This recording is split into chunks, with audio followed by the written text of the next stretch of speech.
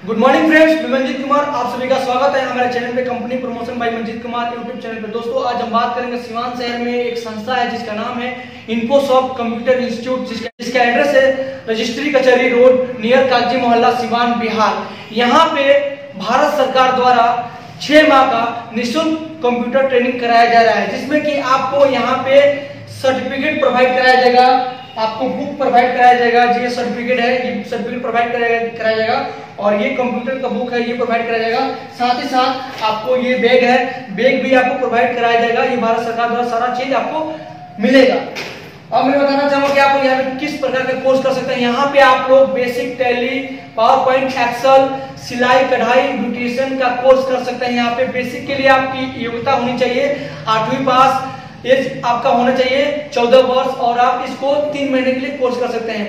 Tally के लिए आपकी एज होनी चाहिए सोलह वर्ष और आपका योग्यता होना चाहिए दसवीं पास और इसका कोर्स है छह महीने का कोर्स है और सिलाई कढ़ाई ब्यूटिशियन के लिए भी आपकी योग्यता होनी चाहिए आठवीं पास और इसके लिए आपको भी छह महीने का कोर्स होना चाहिए और इसमें आपका एज होना चाहिए चौदह वर्ष। दोस्तों ये कोर्स करने के बाद आपको भारत सरकार द्वारा एक डिफरेंट तरह का ये सब प्रोवाइड किया जाएगा सर्टिफिकेट बैग और बुक मिलेगा।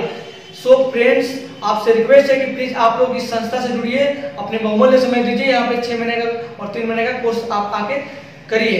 भारत सरकार द्वारा सूचना एवं प्रौद्योगिक विकास मंत्रालय भारत सरकार के माध्यम से ये कोर्स कराया जा रहा है। निःशुल्क ये कंप्यूटर कोर्स कराया जा रहा है, जो आपके शहर में पहली बार हो रहा है। सिवान शहर में मात्र एक ऐसा संस्था है, जो कि ये संस्था आपको ये भारत सरकार द्वारा कोर्स कराया जा रहा है और प्रोवाइड हो रहा है। मैं सेंटर का दोबारा से एड्रेस बताना चाहूँगा। स्त्री कचहरी रोड नियर काजी मोहल्ला, चौक Siwan Bihar.